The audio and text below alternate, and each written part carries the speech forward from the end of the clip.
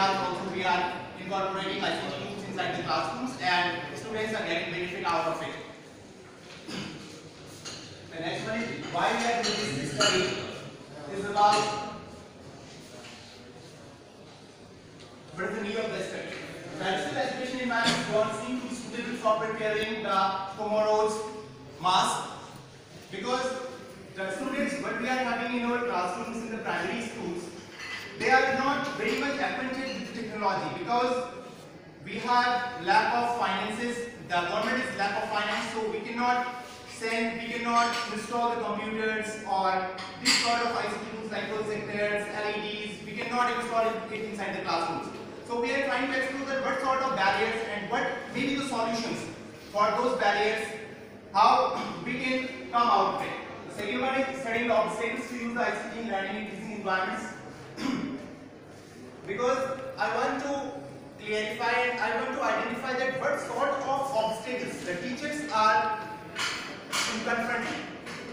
And the third one is identify the fundamental barriers which may assist teachers and educators to overcome these barriers and become successful technology adopters. Research objectives. These objectives I have selected on the basis of around 50 to 60 research papers I have gone through the topmost or you can say the best journals in, this field that is computers and education published by Elsevier. I have collected around 60 articles and find out that these are the three parameters on which we can do this type of study. The number one is the teacher's confidence we can explore. The teacher's competence and access. Confidence, competence and access means how confident the teacher is about to use the ICT in the classroom. The number second is the competence, how competent he is and the accessibility. How much accessible the ICT resources with the teacher. On the basis of these two objectives, I have formulated three hypotheses. The teacher's confidence to apply the ICT tools in teaching learning process doesn't differ significantly and the same one is about the competence and access also.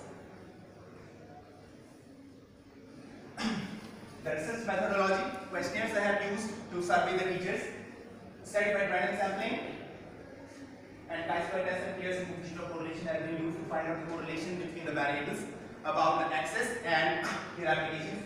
The sampling universe is about 95 blocks of Uttarakhand. I have accessed all the blocks of the complete state, 95 blocks because the government has two years before implemented a scheme in the in the state that we, they have identified three model schools in the in every block of Uttarakhand. I have opted all three model schools and two teachers from one school. Five samples, five samples my total sample, out of which 590 has been responded. So this is the result. I have correlated two values, experience of the teachers and the confidence. Confidence on the basis of these all the parameters, skill computing, use of keyboard, and up to these things is we given.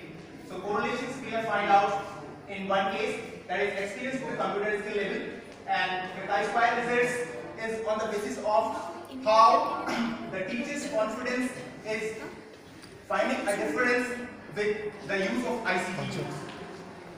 The number one hypothesis that teacher's confidence to apply ICT tools in teaching learning process doesn't differ significantly. So this is about something only one, only two variables we have find out yet been rejected. In this case, as far as the confidence is there, applying tools in the teaching learning process, using use of MS Word, MS PowerPoint, Excel, and Internet has found a difference with the experience.